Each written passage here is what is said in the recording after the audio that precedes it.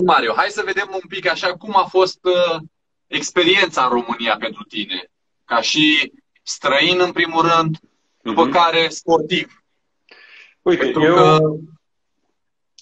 uite, eu, eu nu, nu regret deloc că că, că am mers în, în România. Uh, în primul rând, pentru că. Care a fost prima fost... impresie?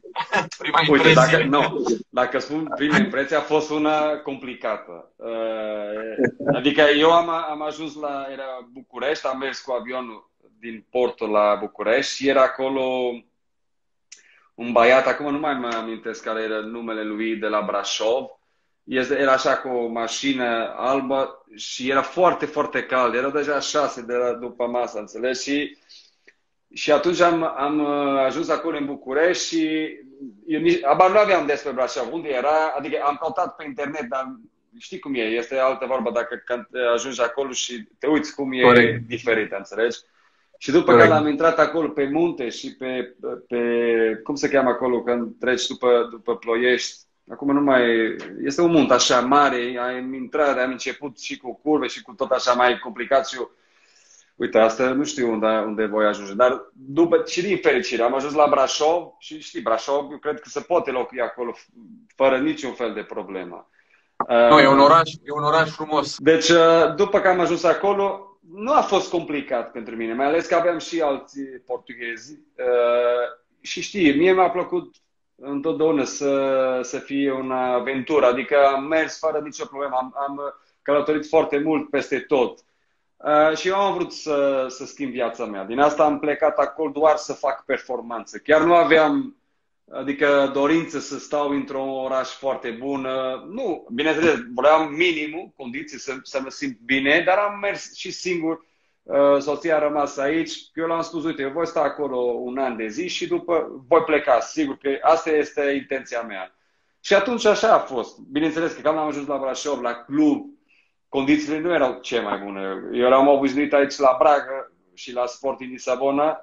Știi, aici aveam echipament, fiecare jucător are tot spalat, așa foarte curat. Acolo nu, magazinul acolo și băga așa pe pământ și cine era mai repede primea cel mai bun echipament, înțelegi? Dar Condiții, așa era atunci. Da, da, da, da, da, da, da. Uh, dar asta a fost. M-am simțit foarte bine. Tu știi, când joci, după tot trece, ne, ne, ne uitam pe probleme pe care, pe care avem. Chiar și eu acolo au fost foarte multe probleme cu banii. Uh, eu m-am obișnuit foarte repede, adică m-am gândit, uite, dacă stau aici cu gândul doar la bani, nu mai, nu mai fac uh, da. performanță. Bă, din păcate, Mario, din păcate, Mario, lucrul ăsta s-a întâmplat și la CFR și știi bine, după, după rezultate foarte frumoase. Da. Uh, din păcate, situația se repetă.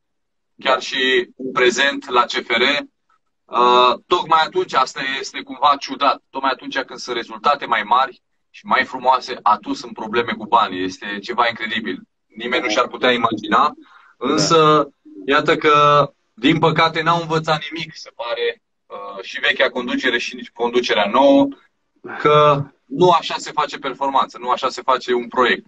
Să știi că, Mario, foarte mulți dintre cei care ne urmăresc acum te felicită cât de bine vorbești românește. Da, uh, cu cine ce? vorbești acolo românește? cu cine Uite, vorbești acolo?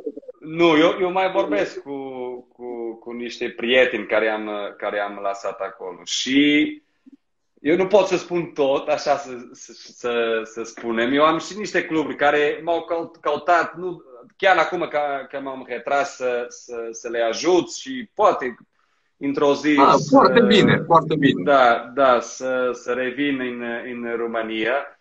Dar știi cum e? Noi ca, ca bicicletă. După că învățăm, cred că nu mai... Nu mai da, nu ca așa Normal, dacă Mare... nu mai vorbesc, mă voi uita, dar încerc de fiecare dată să, să stau de vorbă. Uh, Uite, mă întreabă cineva acum... Dar, dar, Ce? Dar alt, altul lucru. Am și aici foarte mulți, a, am și aici foarte mulți romani care sunt așa pe, pe bragă, pe cale și cere bani, înțelegi? Ah, și atunci okay, okay. eu văd departe că sunt romani și, încerc, și încep cu ei în, în romanește și ei și atunci se uită la mine, de cum vorbești tu românește? e minunat. Da, surpriză, surpriză. Da, da.